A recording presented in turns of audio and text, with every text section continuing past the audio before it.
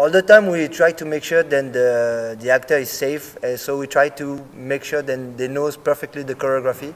First, we train with the with the stunt performer to make sure they knows exactly the timing and uh, the effort they need to put in every action. Then after we put the the actor into the the fight like that, we make sure that everything is safe for the actor to make sure that the choreography is working well.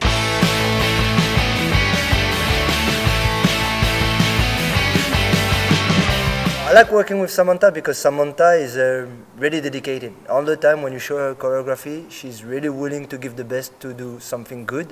And uh, as an action director, that's what we want. We want an actor who's fully dedicated and and giving full of uh, herself or himself to get the best of the action.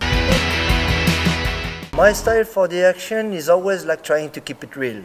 I don't like to pull out like a lot of wireworks, and but we always try to keep something more realistic and close to what can happen in the real.